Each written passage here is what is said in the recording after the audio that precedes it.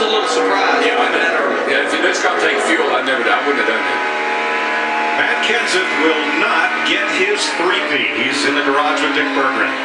Mechanics are under the hood of your car, Matt. How is it possible, after all of the practice and qualifying on this same engine, that we could just start the race and it would blow? It's a great question. I have no idea. So yeah, you think you'd almost would have seen something last night, but uh, it's really disappointing. But yet another hand, uh, the guys at Roush Engines doing an awesome Open job. this up. Uh, I think it's When he's- when he's done, I'm gonna- years. I'm gonna So do one. just, Uh, unfortunately, That's gonna be for me. So we didn't really know what, we had. Come on, hurry up. Don't spill this on the floor. But I don't think it's gonna be the first one you're gonna see today. There's a lot of sustained, real high RPM here, and I've been actually worried about it all weekend. We talked about gears and different things, but um, I really thought it was gonna be all right. So it's just. Um, um, don't really know All right, here, got the camera. We'll in Atlanta. Thank you. Matt Kenseth came in as the Sprint Cup point leader, of course, with two victories in two races.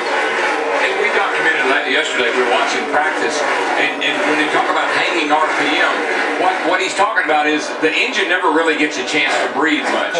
It's Turn operating left. above 8,000 RPM with a high of about 9,500. That's a really small range, and the engine never really gets a break. It's always uh, at high RPM.